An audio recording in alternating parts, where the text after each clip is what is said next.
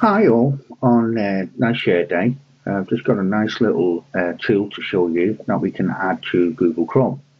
Okay, so first of all, what we're going to do is we're going to go onto our uh, Google Chrome and our college page.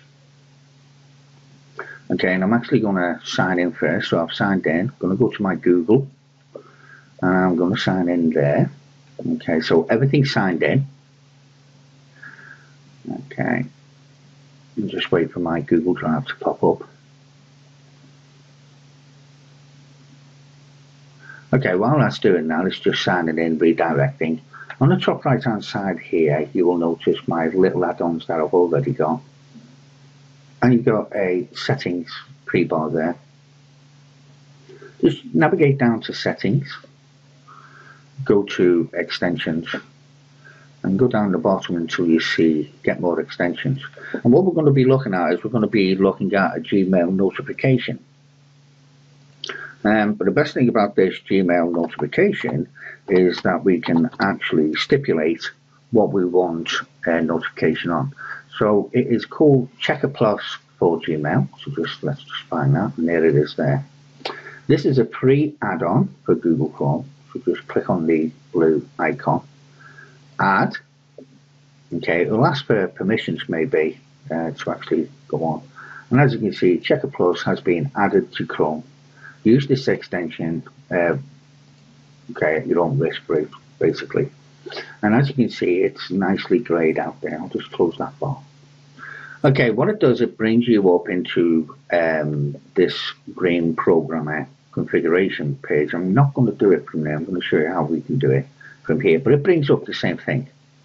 So if I click on my Gmail, okay, you can see my account is already there. Okay, I can actually compose uh, new mail from here. I'll show you how to do that.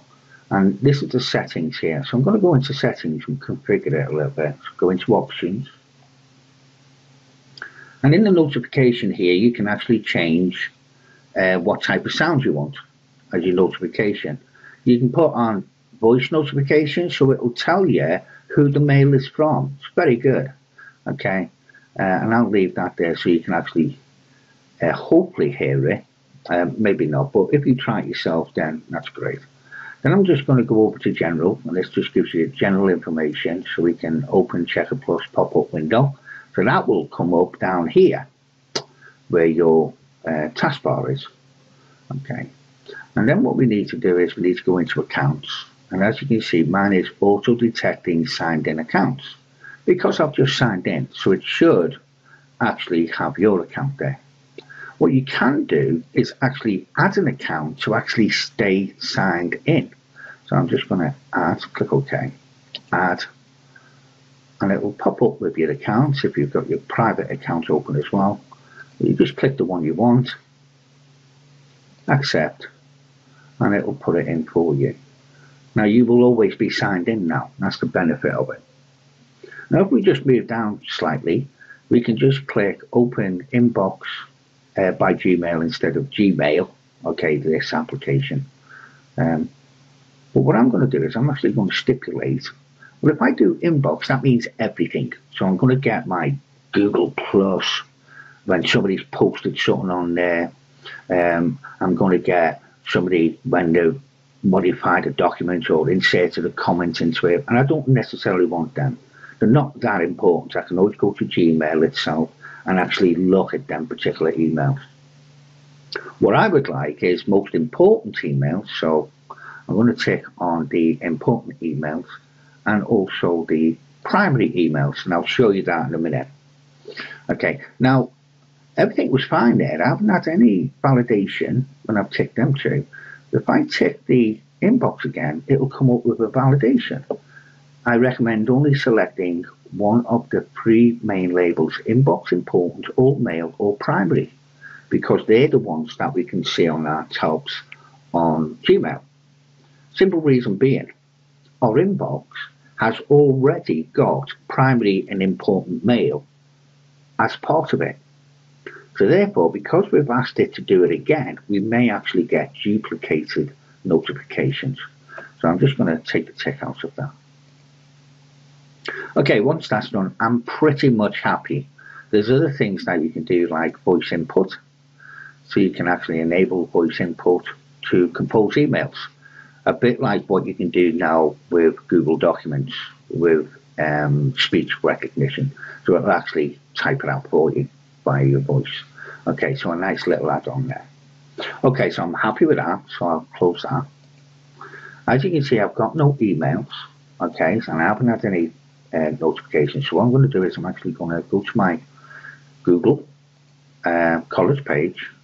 I'm going to go to my normal Outlook web, and I'm going to create a new email, and I'm going to send it to my Gmail. Okay, and there it is there. And I'm going to call this test 4. Okay, and there you go. And as you can see, I've just called kind remark, so I'll just say hello. Okay, there we go. Uh, exclamation mark. Right. And I'll just send it. And we'll just see what happens. It may take a couple of seconds for that to actually to get across uh, from one place to another place. So this is the boring part, okay, and the anticipation part. Okay, well, we'll just wait. Keep waiting. Okay. Oh, there you go. And hello. Kind regards, Steve. Okay, as you can see, the notification done a sound notification uh, with a beep, but it also gave me a voice notification telling me who it was from, what the subject was, okay, which is quite good. Then I don't even have to open the email. But this is how you can do it. So as you can see here, we can click on this icon here. It will show you who sent the email, uh, what the contents was. But the best thing about this is we can actually read the information directly from here. Or we can actually open it up and it comes into a bigger window. Okay. And then we can either delete it directly from here or we can actually go to the next email. So if I just go there and there's the next email. And can you see that it's only picking up from primary? Okay, so let me show you how I've set that up on my Gmail. So if I just go back now to my uh, college, close that, go to my Google, go to my mail. Okay.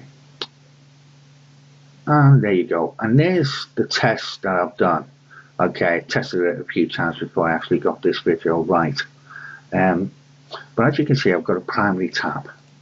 Okay, and that's what I've associated it to. I'd like you to just play around with this. And if you've got any questions, any feedback that you'd like to give, just give us a shout. Absolutely no problem. I'm only too willing to help anybody who wants to try this particular uh, Checker Plus. Thank you for your time.